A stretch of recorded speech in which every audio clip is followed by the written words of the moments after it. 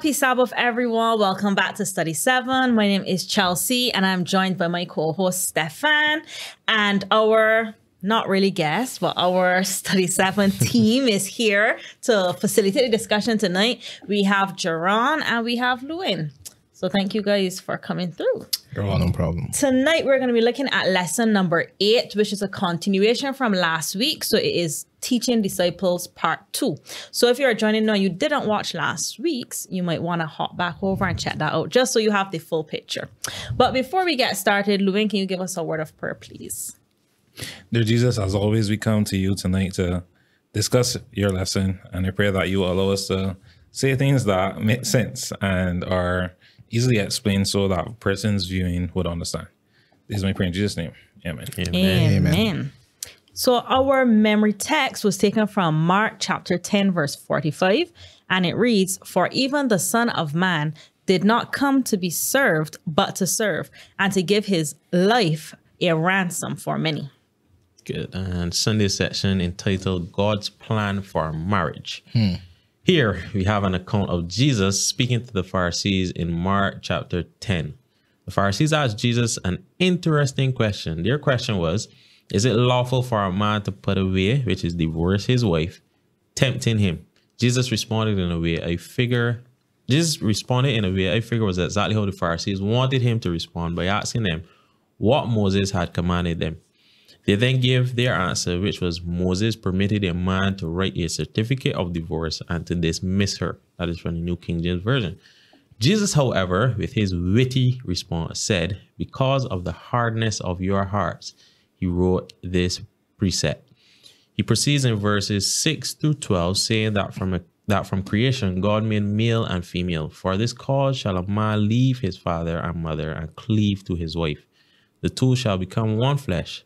Whosoever shall put away, divorce again his wife, and marry another, committeth adultery against her.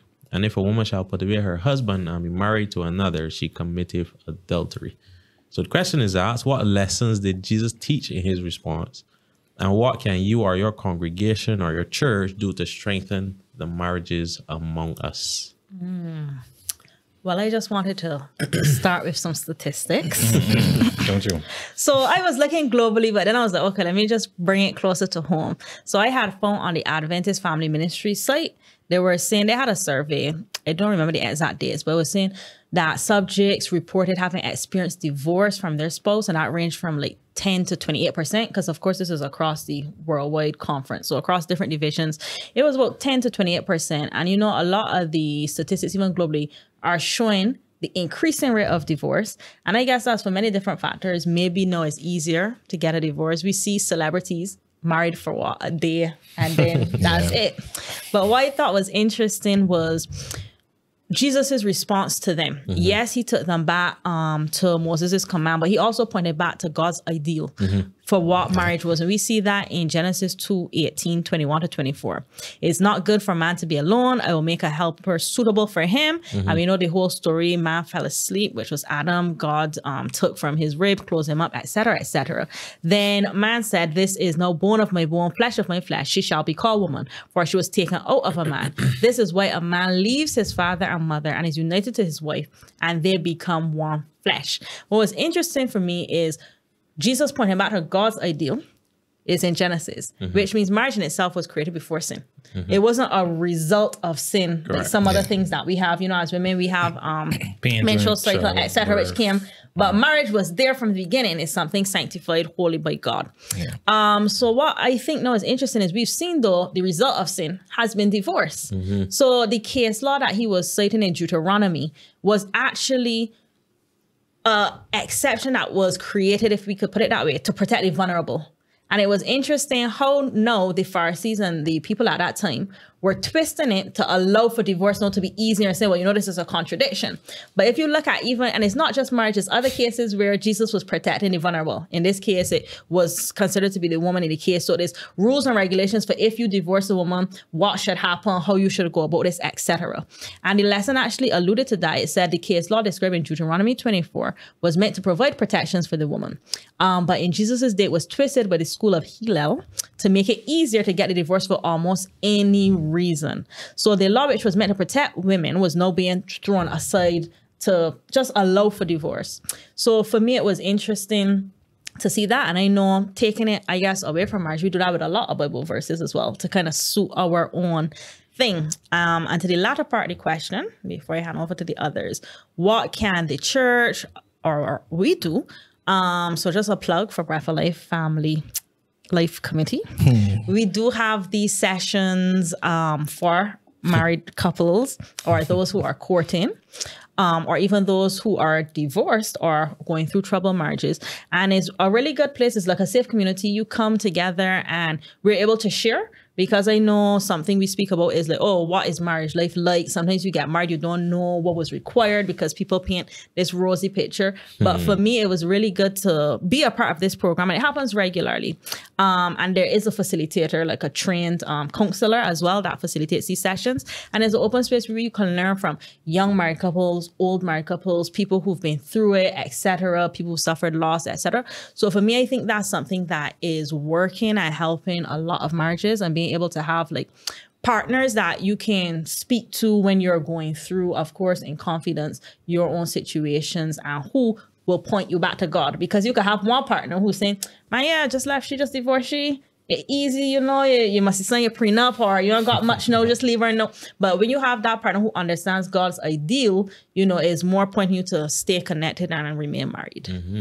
All right, so following that episode of the Chelsea Wow. show, I, I think she left no I no cannot. stone unturned, cannot. so I ain't got nothing to add. what I will say very simply and shortly is that the lesson that the Lord was trying to demonstrate in his response was that marriage is something that should be eternal, right? Um, there's this text that, or this phrase that is mentioned at weddings. Aaron Father do it all the time when he does them. And it says, um, what therefore God has joined together, let no man put asunder.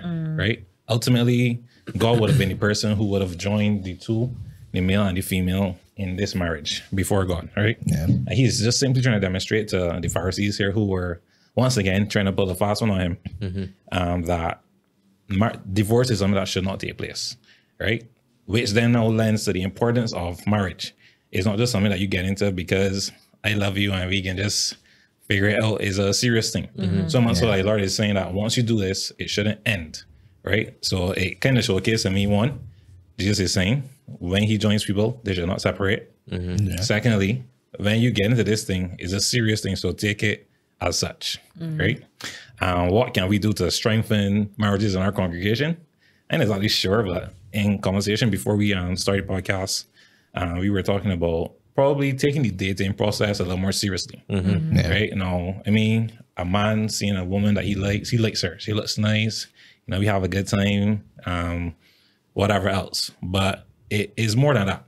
There are some challenges that will come up as a result of two people from different backgrounds living together and sharing a life mm-hmm. together.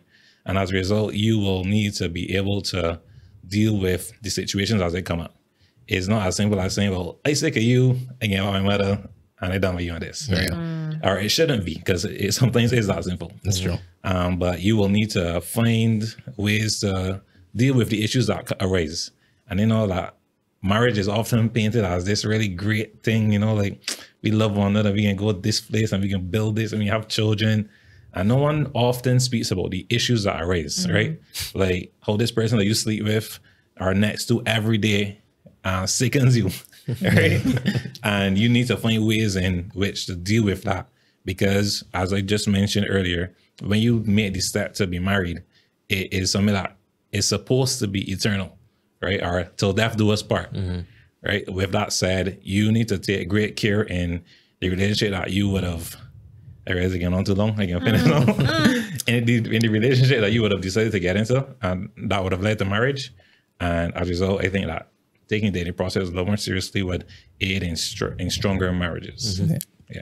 I I think um, Pop Chelsea. calling kettle black. I think, I think Whatever. Chelsea and Living give a much fulsome answer. But I would just say uh, that I think also too as a, a church, you should encourage, as you said, encourage the dating process. Mm. Encourage people to take their time because I, the tendency in church is that once you t- see two young people together, Marriage. then y'all getting married, Yeah. and you start to put pressure on people to start to rush Yeah. a decision. The other times where you know, um, situations in church where persons get, you know, pregnant out of wedlock, and so the church encourages to get married. I guess I don't know if it's seemingly trying to fix the situation. I think it's trying to save face. But to me, you know, you sometimes you push people in a situation that may, may not have been ready for. Yes, they did the act. The thing is, getting married doesn't correct it in any any essence. So I think it's just uh, encourage persons to take the dating process seriously, as you said, and give people time to to work through the relationship so that you know when they get married, then they have that good communication, they know each other well, and you know God will keep them together. All right. Um, based on what Jerome was saying, um, I was thinking along those lines too. Um, I think that we encourage putting the what the pers- person saying the cart before, the horse, yeah right? We don't encourage the dating process. We encourage the marriage, but we we ought to encourage the dating process first. So um, before um, we were before we started the podcast, I was actually telling Ruel or Alanis was telling Ruel like how long we dated before we even decided to Yeah. become a couple and then how long we were together before we even decided to be married so i think like those those types of things um, play a, a vital part in in how you as a person handle your marriage how you um, behave during your marriage how you handle conflict resolution during the marriage Which is very important. yeah es- especially important but Yeah. um i think that a lot of marriages can be salvaged by sharing all necessary information as well as leslie said i think persons tend to to paint this whole nice picture of marriage and yes marriage is a nice thing but we we ought to also understand that as a result as leslie said of two persons coming together with different background Yeah. differences stuff. you will always have um differences Yeah, exactly. right Yeah, yeah, so like I, I i think that we should we should help persons by sharing the the necessary info like The just good, the good, the bad, and the, the ugly. good, the All- bad, all and it. the ugly. I Yeah, think that that should be standard and necessary in all marriages. And and just to strengthen what Chelsea said, um, I had here also to reference the the breath lay sessions that Chelsea and Jerron actually invited Alliance and I to, and we actually went, and it was good. So for all the married couples out there, all the courting couples, see Chelsea and see Jerron. All right. So continuing in Mark chapter 10, because that's the focus of this week's study, we saw the aspect we just discussed about marriage. Then we see Jesus and children on the Monday section. Um, we have here in Mark 10, 13 to 16, it reads, And they brought young children to him, that he should touch them. And his disciples rebuked those that brought them. But when Jesus saw it, he was not pleased and said unto them, Suffer the little children to come unto me, and forbid them not, for such is the kingdom of God. Verily I say unto you, whosoever shall not receive the kingdom of God as a little child, he shall not enter therein. And he took them up in his arms, put his hands upon them, and blessed them. Seeing here, it is a familiar text that we all hear, especially growing up in church. But seeing here how Jesus reacts to and for children, what does this tell us about the importance of children within our church? All right. So before we get to the answer for that Oh, the question, man right? jumping in quick, quick, quick. because they're going to say anything before on this day, right? Um, on Monday, it, it, it said something that I didn't fully know before. So it said, "Well, children, well, children were desired. They were of a low social status, hmm. along the lines of slaves, hmm. actually, right?" And then Galatians four one and two kind of gives that gives more information there. Now, was it that the disciples were not excited for the children to come and interact with Jesus, seeing that they would have been of low social status? No, I am uncertain because they didn't say that in particular, but the, the lesson made mention of that. And like children were sold as slaves, boys were preferable, um, etc. So like seeing that some children wanted to come to Jesus, these lowly beings wanted to come to interact with this great person. Um, was it then? Uh, was that then the reason why the disciples were like, "Yeah, just relax on yourself, don't come here." I, I, I don't take it that way. I would say I more think they were trying to answer for Jesus in mm. saying, "Master, the master doesn't have time for this." Yes. Not necessarily like they were looking down on the children, but they look highly of Jesus. Yes, as they should. Mm. But they thought that these things were below Jesus. Or Interacting with children. interacting with children. he came to heal people. He came to seek, you know, and save the lost sheep of Israel, the little Yes. children. Salvation is big people business. So it was like, but when you look at the Bible and even know who are the vulnerable groups, typically women, children, Old elderly. persons, right? And even when you look in the different laws, taking your point, um, Lewin, Jesus does set um, regulations to protect the elderly, women, single women, widows, and children. So I mean, it could be a mix of well, one, your importance sadly is often tied to your social status in society. So it could be a mixture of both what you and John said, in the sense of John is, you know, salvation is big people business, but at the same time, we don't see you all as important because, you know, you just you haven't arrived yet. Yeah. So I guess that's how I see it. I believe. I believe it's a mixture of both as well. Mm-hmm. Yeah, but I mean, looking to the question, what does this tell us about the importance of children in church? For me, just thinking generally importance of children, especially for a country, a community, and especially for a church, they are the future because they are the ones who are going to carry on the work. I know you were saying um as a country, so you know here in Barbados there's been Christ for us to have more children. No, so we all need to do our part. Answer the call, Chelsea. But I'm just saying, like, they are the ones who are meant to carry on the work. So my thing is, if you exclude them, then the question is, what happens to the church? Correct. You know? The church Yeah, will see and- says this. And persons often say this, like, if you see a church without youth or young people, your church is gonna die. Mm-hmm. Precisely. Because when you put 50 years on the age of everybody in there, hmm. and everybody is 124, like you don't expect that. They, they, they're going to be alive for that long. Mm-hmm. Exactly. And then if you don't have any other persons like coming up, like who's gonna maintain the functions of your church, evangelize, help those in the community if you don't set up like anything for succession, right? So um, I think generally too, uh, even though Jesus didn't necessarily say this, um, having children in any organization is important. Correct. Yeah.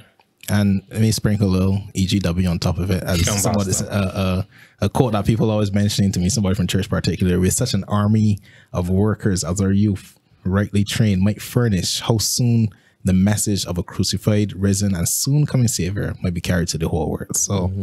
they are involved in the the work of evangelizing and caring for the mission. So hmm. yeah. I think uh, for me, sorry, you Go ahead. Go ahead. for me, I had an interesting thing about yes, the future. I had um, but I was thinking what Whitney Houston's lyrics is in his song "Greatest Love of All." You guys bring a song there every week. You know. Oh, she said, "I believe the children are our future," which you guys were just saying. Mm-hmm. Then they point, teach them well, and let them lead the way. We have to include them, show them all the beauty they possess inside, give them a sense of pride to make it easier.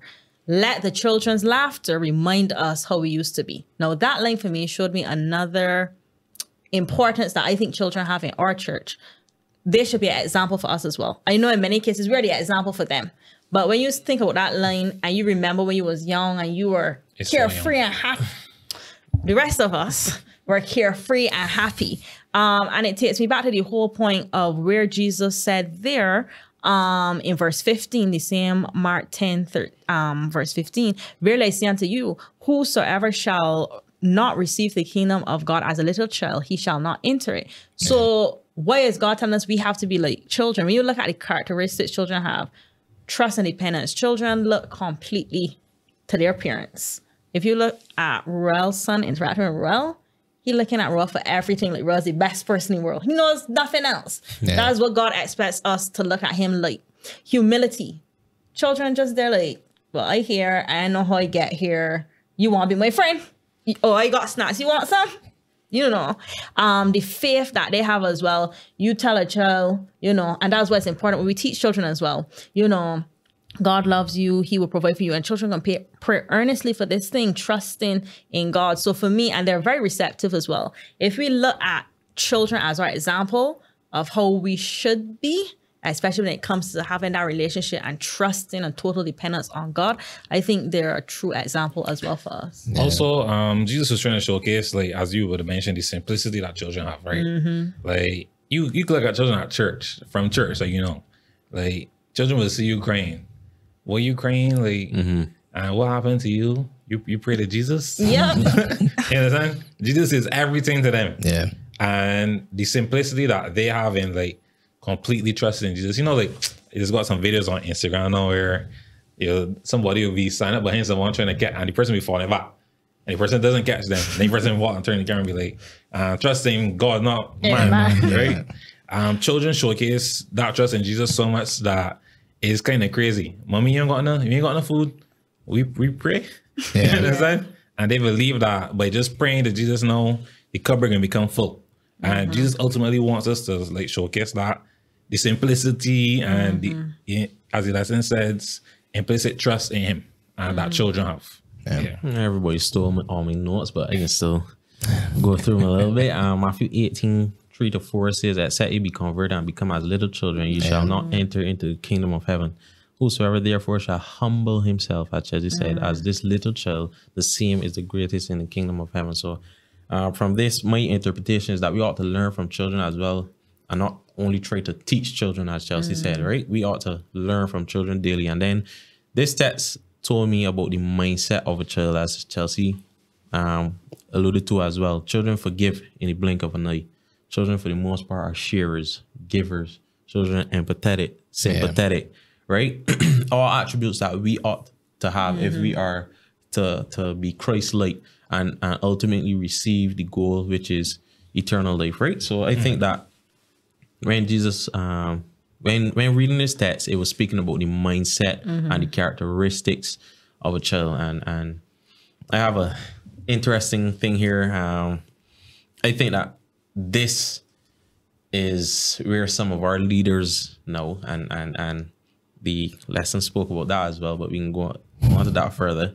This is where some of our leaders actually fall down in this aspect because they think that they're, they're, they're leaders that think that when they are in position to lead, that they must only lead. Mm. But a great leader is also a great servant, as we are going to mm. Yeah, find out Yeah. later in the lesson, right? And and I think that children are that example of how we should serve, right? And I think that they're also persons who tend not to take the the information or the advice or, or the ideas from children, but tend to lean on their own understanding, and that's when things begin to Yeah. to yeah. But Which, which is, I guess, the point I was thinking about too. In that children always they they learn from their parents and they're willing to learn, and I think that's sort of attribute that we also need to to have where we are willing to learn from God, Mm-hmm. as you said, leaning not on our own understanding but acknowledging Him in all our ways. So I think, I think that's an important part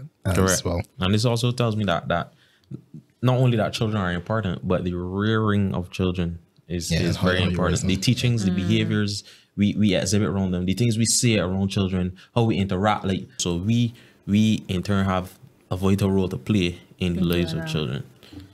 So with all that's going on in our society, societies today, and I know Stefan would have started to allude to some ways, how can we help bring children to Jesus? And even when Stefan was talking, I was thinking about this um, this section at the bottom of Monday's section. I got all my notes here. Like, oh, let not your unchrist-like character misrepresent Jesus. Jesus. And as you things you say, as my thing is, you want to bring children to church, Correct. But then you get in the church, then you get in the car after church, you talk about all the bad things that happen at church. You talk about all the church people and things. You start you work. misrepresent Christ. Correct. You make church out to be a thing, a place that doesn't. It doesn't seem like you want to be there. Correct. So why should they want to be there? So I, I think my thing is we need to give make church the the best place in the world. And I would say also make Sabbath the best thing in the world. Make that Sabbath the highlight of the week so that children want to be Correct. in God's presence at, at this time. Um, yeah, you pull in from that same that same quotation, right? Because it say like, do not keep little ones away from him, but your coldness and harshness, as John mentioned. Never give them cause to feel that heaven would not be pleasant if you were there. You understand that? Correct. Do not speak of religion as something that children cannot understand, right? As or as if they were not expected to accept Christ, their accept. Christ In in, their their childhood, childhood. yeah. So basically, it's saying to me that the way how we present Christianity and like I mean, we're Adventist or Adventism Mm-hmm. should be of such that a child would understand and want to be a part of it. Correct. Especially last part it says, do not give them the false impression that the religion of Christ is a religion of gloom, and that coming to the Savior they must give up all that makes life joyful. Yeah, so that by saying that, that says to me that this Chris, our Christianity should be something that is exciting and fun, Enjoyable. that isn't boring. Yeah. If only our church services would reflect that, mm-hmm. right? Mm-hmm. But i i if you could get it set up in such a way that children have a good experience uh, learning about Jesus, imagine what happens then on to the adults, Correct. right? But So, the, so the, the same emphasis that we place on the main party service you need to give to children's ministries. Correct. So I was gonna say we do have facets that are really good in itself. Bible school. I know that has been a big thing for a lot of people who I know. Their only touch point to church has been through Bible school. That's a big thing for community outreach. We used to do branch Sabbath school where we actually had for the children in the community a Sabbath school at a lady in the community's house, and they would come. Their parents would send them. Adventurers and Pathfinders, I think, are one of the biggest things. Up to this day, I have friends. They are not in the church, but their best memories, and they will tell you, is adventurers, path, well, Pathfinders, especially because we get older, you got the camps. Some people travel just because of um, Pathfinders. The first time they get on a plane and so, and they remember that, and they don't forget. You know, they remember the verses, memory gems, but it was in a fun way. You learn about the Bible, you learn life skills, and they felt part of a community. So I think those are important avenues that we have that we need to continue to amplify. And you know, Yeah, Leslie and Jerome could invite the children to um, buying camp and, Mm. and buy, and buying and stuff. Um, what I have here very quickly is that we need more programs geared towards reaching young people. Mm-hmm. Yeah. And one thing Leslie spoke to me about um, is restarting sports evangelism, Mm. right? Because young people like sports. And um, so the sport we, we used to have a Saturday night football tournament and stuff like that. So remember those. um, we should play cricket on Sundays. cricket on Sundays. No, we're trying to uh, implement uh, a road tennis tournament too. So No advertise on the podcast, please. yeah, we can, we can look out for those coming uh, in the short time. But I think that that sports evangelism is one way that we can actually reach Yeah. reach young people and reach children. Because- Especially the community as well. Exactly. Yeah. Right. So, yeah. Um, Tuesday section, the best investment. We continue in Mark 10, 17 to 31, where Jesus has an encounter with a man. The Bible tells us that this man came to Jesus asking, What shall I do? What shall I do to gain eternal life? Jesus' response again is one that is very well thought through. Jesus responds by telling him he knows the commandments don't kill, don't commit adultery, don't steal, don't bear false witness, honor thy father and mother, etc. The man responds by telling Jesus that he has done all of these things from his younger days up until now. Then Jesus does what he does best. He very calmly tells this man what he lacks. He proceeds by saying, Sell whatever you have and give to the poor, hmm. and thou shalt have treasure in heaven. And come, take up the cross and follow me. We see that in the way that this man's response that he is clearly not ready for his for this eternal life that he's asking for as he goes away very sad because as the Bible la- labels it, he had great possessions. So what crucial lessons about faith and the cost of discipleship for anyone, rich or poor, is revealed here. Before, you jump in, Lewin. no, I, I didn't want to ask you a question yet, but before you jump in, you know what I found interesting too? As I actually, actually the first one I noticed is when you read it just now. When Jesus started listing the commandments, Mm-hmm. Yep. he didn't start from the first four, you know. Nope. He started from the last six. Yep. So he already knew what the man was lacking. so he skipped that part.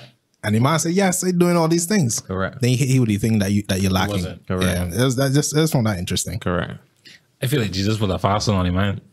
like the man seems to be interest seemed Yeah. to be interested in doing what was necessary. And instead of working with you, Jesus showcased all the things that he wasn't doing. Mm-hmm. That's what it seemed to me. But it was crazy when you know, it then went went on to say that it's easier for a camel to pass through the eye of a needle than for a rich man to make it into the kingdom of heaven Yeah. right? And ultimately, it was saying too that if you have all of these things and you're unwilling to like get rid of them in order to follow Jesus, you would have effectively put these things above Of God. God. So these things are idol. And ultimately, that's why the man or why rich people may be unable to make it into the kingdom of heaven. Mm-hmm. And it's unfortunate that it's crazy that the man was willing to do all of these other things except this. Mm-hmm. Right? Because these other things are easy to do. it was easy for him. Yeah. Right. And it, it showcases that God really wants like some serious commitment when you decide to be a disciple of his. Yeah. Right. the money that you got and the nice car that you got and the big job that you got, if you really want to follow me, let her go. Correct. Yeah. Right? Now, I mean, in today's age, it may not necessarily mean to sell your car and to quit your job, but it should be set up in such a way that you put God 1st And it, based on what is being said, I ain't rich, so I can't really relate, right? Yeah. But it's, what is being said is that when you have these things, it is very difficult to set those aside for God. And ultimately, that is what He wants from us. I, go ahead. Sorry. No, I was telling uh, one of my friends today. Um, some, sometimes we ask God for money, like like as if we're dog broke, right? Hmm. And and we don't see it come true. And I was telling him like sometimes we we don't even be mindful that we sometimes are mismanaging the money, this the hmm. little bit that we got, and then we want to ask God for a lot For more. You think you think that God can bless you with money, a lot of money, when you can't handle the little bit of money. True. So I think that that this is what Jesus was actually telling this man. Not that he's mismanaging, but he was not ready to do this to earn this, right? And I think that I would have said it here in previous episodes. Um, the cost of discipleship. Sometimes we are called to give up loads of stuff. Even might be the ultimate sacrifice, which is our lives, right? Sometimes that is a call for discipleship, and um, if our faith is growing in Jesus, then we would not be hesitant to give up like this man because he had great possessions. Like he said, he he he think that the man was doing all of this, but not this. But I think, based on on my interpretation, is that he was doing this because he he just out of you know like this is the right thing to do Of obligation Right? for the law. Yeah. Exactly. Not not because he loved Jesus. Because if he loved Jesus, he would have found it very easy to give up his possessions. So I think that he was just following these things out of obligation. And and to answer the the first part of the question, what crucial lessons about faith? Um, Gerard would have heard me say um, countless times that I I just love hymns, right? And there's a hymn, um, hymn number five hundred and thirty-three Don't sing it, on. or for a film. I'm not singing it. I'm not singing it. But but if you pay attention to the lyrics, right? Mm. Um, the hymn tells us that we need to have a faith that will not shrink. Mm. Although persons may challenge it challenged, by many a fool. correct, it may be challenged by poverty, challenged by beatings, because it spoke mm. about the chastening rod. And then verse 3 says it shall shine so bright and clear that when danger, when in danger, it just does not know No, any any fear. fear. Right? I think that that that is the importance of our faith. And then we know the the the, the very popular Bible verse that with faith as small as a mustard seed that we could be able to move mountains. So I think that that faith and the cause of discipleship um, is intertwined, and I think that when when our faith is to a point where it, it as it said is unmoved in in hymn, and where it, it just would not shrink, then our um, call for discipleship becomes very easy as well. Yeah. I when I was thinking about the cost of discipleship, um, Chelsea the bringing some lyrics, so I bring in a movie reference. Um, if y'all watch Avengers, when Gamora asked Thanos No, about his watch We mission. have Advantage thing, man. I don't even know where. to Anyways. describe that. So for those who actually Avengers. watched this Avengers. thing, when when Gamora asked Thanos about his mission, she asked him, "Well, what did it cost?" And he said, "Everything." Mm-hmm. Wait, what? Everything. Okay, then. I was reading your lips. I was like, So my thing is, for him, his mission was so important that he gave up everything mm-hmm. for it. Mm-hmm. And when Jesus asks us to take up our cross and follow him, he's telling us that it's likely going to cost us Everything. Everything. And in that scripture you mentioned in Mark 10, 17 to 31, in verse 29, it says, Jesus said, Truly I say to you, there is no one who has left house or brothers or sister or mother or father or children or farms for my sake and for the gospel's sake, but that he will receive a hundred times as much now in the present age mm-hmm. houses, brothers, sisters, mothers, and children and farms, along with persecutions, and in the age to come, eternal life. So Jesus is saying that we need to forsake all of it to follow him. Point blank. The cost of discipleship is everything. But Correct. more important than the cost, though, is what we have to gain. And he mentions here eternal life. Mm-hmm. I know Chelsea can be upset because this can be a our episode, but I got another point. so like it says here We that only got Tuesday. yeah, Mark Mark notes that Jesus has loved the man, right? Yeah. And it says um there's something appealing about the man's idealism. But Jesus tested sincerity by asking him to sell everything and follow him. Yeah. Right. Um I think today too, there are probably people who out here saying, "Yeah, Jesus, I will follow you." Probably people who are following him as well, uh, but are unwilling to sacrifice the things that they really need to to to be for it to be sincere. Yeah. the guy was willing to follow Jesus. He was unwilling to do what was necessary to actually do so wholeheartedly. And I think today's uh, we more than likely They fall into that trap. yeah. Yeah. And I think there's something to look out for because ultimately Jesus doesn't want that. And we need to adjust this. You go ahead, Chelsea. No, I was just gonna wrap that up by saying, as you said, we struggle with it. It doesn't just have to be riches; it could be anything. For myself, I found there were some things I wanted to give up to have a close relationship with Christ. I found it hard. Like I was like, wow, I like I like this thing more because I so used to doing it. What's not? Um, well, I was watching certain um watching TV before anybody get any wild ideas. But then I saw something, Mark 10 27. With man, it is impossible, but not with God. For all things are possible with God. Correct. So on our own, we it would kill us to give up. Just like the the rich um guy here, it would kill us to give it up because it's like Shh, there's a lot of money, we're hard for this, but it's not through our might is through God, and we get that by being rooted in God. And the only other thing I would say on that, just so no one misinterprets, because a lot of people use this text to say, you know, um, you shouldn't aspire to be rich or get money or God don't like rich people, etc. But look at Job. Job was rich. Yeah.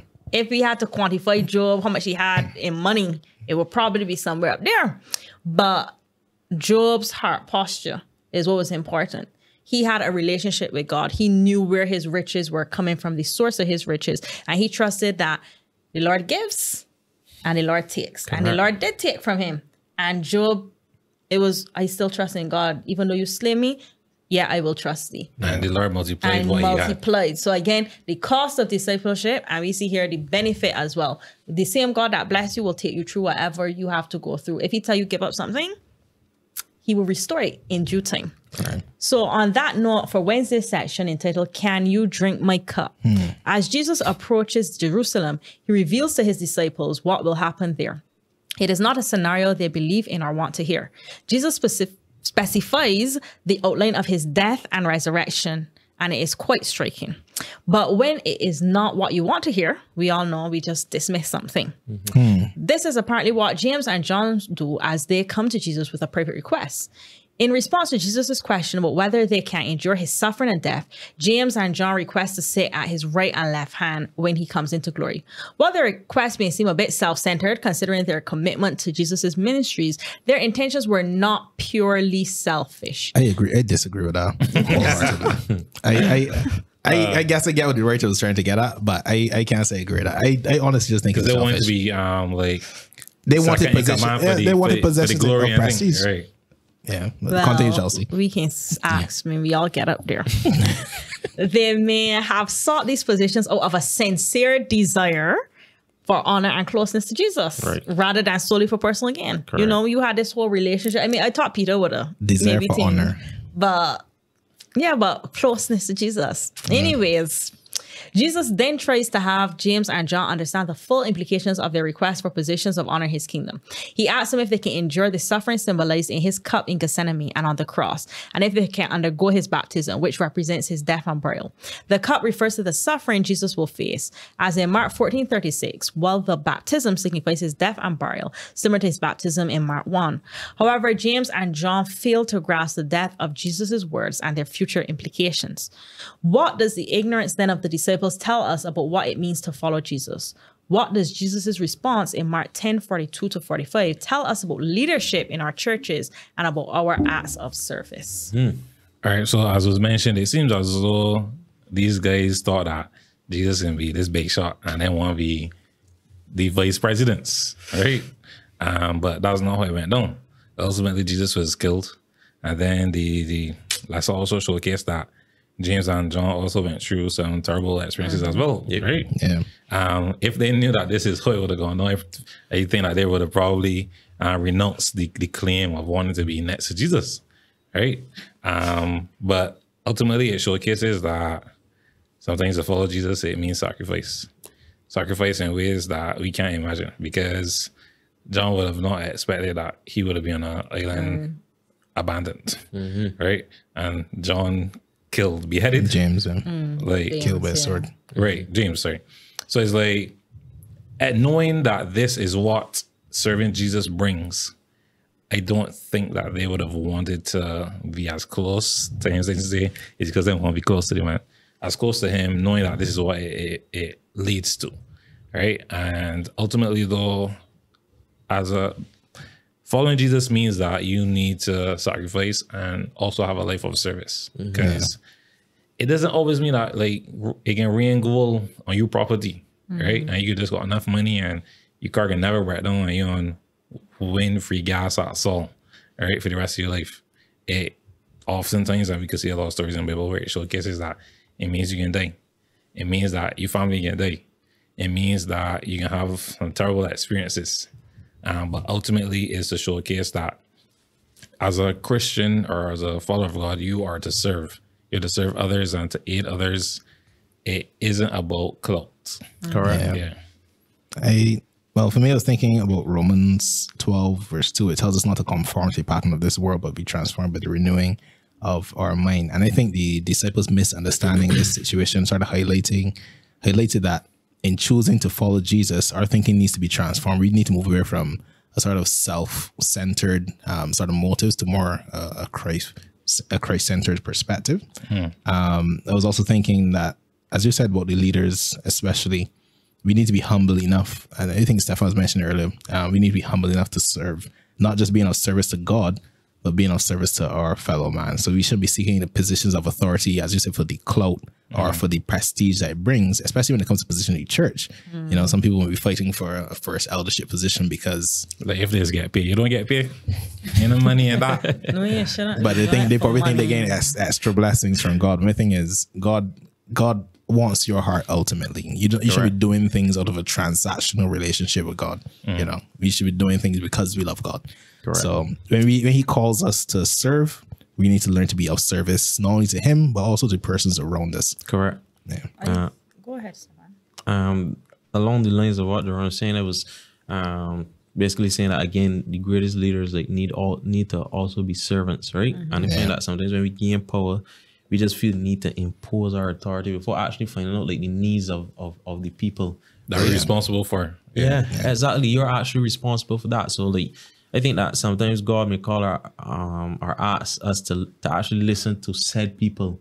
But sometimes in our own understanding and selfishness, we try to still do what we think is necessary rather than what God think is necessary. Right? And Proverbs 18, chapter 2 actually says like fools find no pleasure in understanding, but delight in hearing their own opinions. So when you find persons that that that just don't listen to people just always telling themselves like this is what we ought to do uh, and and trying to get their point across all the time will will cause them Foolish. right?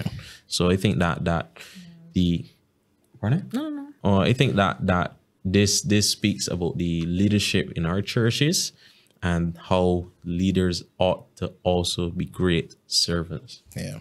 I was saying for me, our ability to serve improves as our relationship with Christ deepens.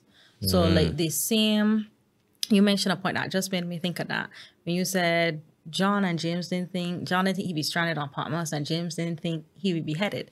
Remember when Jesus came to these different, all the different disciples, some were fishermen, some were tax collectors, etc. I said, "Come, follow me, make you fishers of men." Mm. You think if he said, "Come, you know, lonely lion can get beheaded a little later," and what's not? Do you think they would have followed him at that time? No.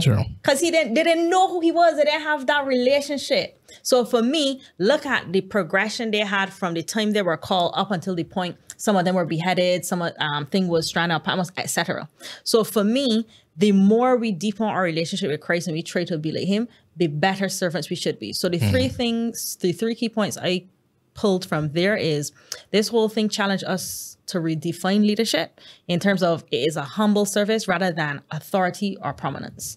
So, like you guys said, and I want to be first elder because I put it on my CV or people see me as, oh, I get a special parking lot. Um, it calls us to examine our motives and attitudes. Lewin had alluded to that, saying, you know, it's not about for clout or anything. Our actions must reflect Christ-like servanthood. Yeah. It emphasizes the importance of sacrificial love and selflessness in all our interactions, which is what Stefan was just saying um, about the fact that you ain't just putting your opinion out there and telling everybody this is what it is. So for me, those are the three key things coming out there. Yeah. Okay, good. And Thursday's section um, speaks, the title speaks to what our leaders ought to ask. What do you want me to do for you? In Thursday's account, we see that as Jesus is leaving Jericho, a blind man sitting and begging beside the road hears of his passing. This blind man, who the Bible recognizes as Bartimaeus, began to shout for Jesus and ask him to have mercy on him. Many who were there, many were there sorry, many who were there were pleading with this man to hold his peace, but this made him cry out even more. Jesus eventually stops and suffers the man to come unto him. In addition to rising, he threw away his garment and went to Jesus. Jesus, again displaying his wit, asks, What do you want me to do for you? The blind man asks for the thing his flesh craves most at that time, and that is his sight. Jesus then says something that is extremely pertinent Go thy way, thy faith hath made thee whole. Immediately, Bartimaeus receives his sight and follows Jesus. Now, what does this teach us about the importance of our faith in Christ? And have you had a Bartimaeus moment where you had to cry out? um as Stefan mentioned, I guess the thing that jumped out to me, and the lesson highlighted it, that the blind man throws off his cloak as he comes to Jesus. And the lesson I said that in that day, blind people were at the bottom of society, right, along with widows and orphans. And these people were below subsistence level and in real peril. And the cloak would have likely been the man's security, as the lesson says. So leaving that behind, meaning that they had had this sort of ultimate faith in Jesus. Correct. He threw away all his security, he threw away everything he had, and he went to Jesus. And I remember this thing we we say at church, right, especially as relates to faith, uh, forsaking all, I trust him, F A I T H. And the man forsake all that he had and and he ran to Jesus. And it says, I'm pulling from the end of Thursday session, it says that this story is the close of the discipleship, discipleship section in Mark, serving as a bookend with any with the other story of healing a blind man in Mark. Um, so the, the two stories illustrate how discipleship is about seeing the world with new eyes, and sometimes not clearly at first, but following Jesus in the way that He leads. So I think that is, I think I think it really shows us the sort of discipleship we need to need. One that where we we jump out and just follow Jesus in, Correct. in faith. Um, what we would say here is this: it seems as though they were trying to not allow the guy to interact with Jesus. First of all, right? And when when the when the asked him, I was like, just keep quiet. And man, showed Lord because he had faith that in interacting with Jesus here and now, he will be s- ultimately healed, mm-hmm. right? Yeah. Um, if only we would trust in Jesus like that, just like him, by the way. I think children showcase us our faith in Jesus, mm-hmm. right? My mind was like, "This is it. Then can heal. Jesus can heal me. I just need to make an effort."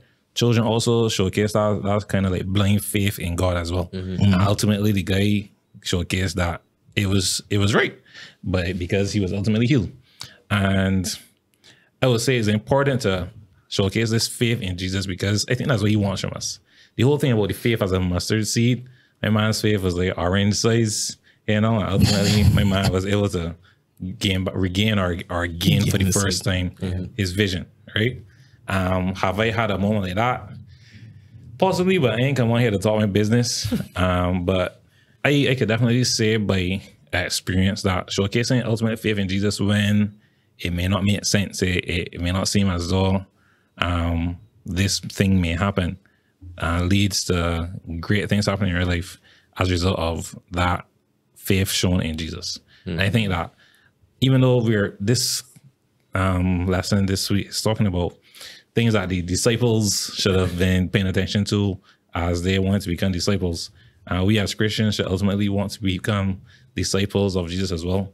And it's important for us to showcase this level of faith in situations that we go through on a day-to-day basis. Um, because you know, life hard mind, like things always work out great. You don't always got as much money as you want or the best living environment or whatever. But by showcasing faith in Jesus in times where things might suck, um, provides you with the opportunity to cry out as my guy here did and be healed. Um, So I think that that is important, even though you may be fearful or whatever, is important for us to showcase that faith in God. And just to be clear, based on what Leslie said, um, you know, sometimes where we, we, where we might not have any money or, or as Leslie said, use the word suck. Um, I think that faith here is not telling us to just be stupid, Right. right? We're not supposed to just go and spend all of our money and then say, oh, you know, God. the Lord, the Lord will, Lord will- will, Yeah. will will provide. Like God expects you to be sensible also, right? Yeah. So I don't think that faith here, just to be clear to our viewers, that faith here means stupidity, right? It it just shows that we have a reliance, a certain reliance upon God when, um, you know, when we call on Him. But um, the importance of faith in Christ, I think that not only not only this story, but there are countless stories throughout the Bible where it, it literally alluded to the fact that this person's faith actually healed them or saved them. Right? see if someone connected to them. Exactly. Mm. Like like the the The woman, on the cross. Okay. Mm. Right? The mm. woman that touched Jesus's garment. Jairus' daughter. Exactly. Yeah. So we, we we see countless countless stories being told in the Bible where faith plays that important role. It, it is not the act, but it's the act of faith that saved these people or or, or would have saved their circumstance, for lack of better words. Um, me personally, I don't think that I've had a Bartimaeus moment where I I literally cried out, right? But um, there was a time when I was super sick. Um, Alanis could tell you I have some bad sinusitis, and my sinuses was actually like the drip was so bad that um, I had like inflammation in my lungs and and stuff. It was a horrible experience. Like I thought that I was, I was, I had COVID again, right?